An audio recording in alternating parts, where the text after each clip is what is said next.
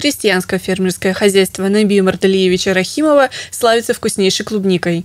Ее выращивают здесь уже не первый год. А в прошлом году на поле близ деревни Холм было установлено 6 теплиц, каждая площадью 850 квадратных метров. В теплицах на стеллажах уже зреет высаженная ароматная ягода. Для полива протянуты специальные шланги и организован капельный полив. Клубника растет в хозяйстве на общей площади в 15 гектар. Сорта разные от однолеток до трехлеток но все уже проверенные, хорошо показавшие себя у нас на буйской земле. Поэтому все, что здесь произрастает, называют общим словом «буйские». Теплицы поставили на том поле, где была клубника, убрали клубнику, поставили теплицы. Но в теплицах она как бы э, в два раза больше высадки идет на участке, чем, скажем так, э, на поле. Но труд облегчает, как бы рабочую силу, вот это все, конечно, намного легче. И спасаемся там от дождя, от непогоды, от э, возвратных заморозков. То есть здесь вы поливаете столько, сколько вам надо, да, а не как там природа позволит? Ну тут вообще практически, можно сказать, не поливаем. Ну каждые там 3-4 дня, максимум минут 10.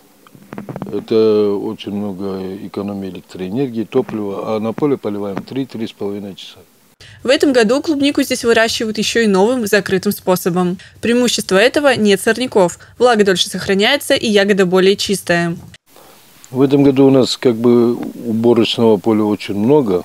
Из-за этого мы так его посадили, чтобы не было ручной прополки. При этой посадке ручной прополки не будет. Но и рассады у нас не будет на этом участке. Ягода уже созревает, пора собирать. Для уборки урожая хозяйству требуются рабочие руки, можно в качестве подработки. В возрасте старше 18 лет, работа сдельная. Оплата за сбор ящика клубники 100 рублей. Выплачивается наличными в конце рабочего дня. Будут люди работать, каждый день получают зарплату. С завтрашнего дня у нас как бы получается сдельная оплата. Кто ящик собрал, 100 рублей. Там люди будут следить кто сколько собрал, считать. И будем оплачивать это все. Все справки по телефону 8 962 186 11 44.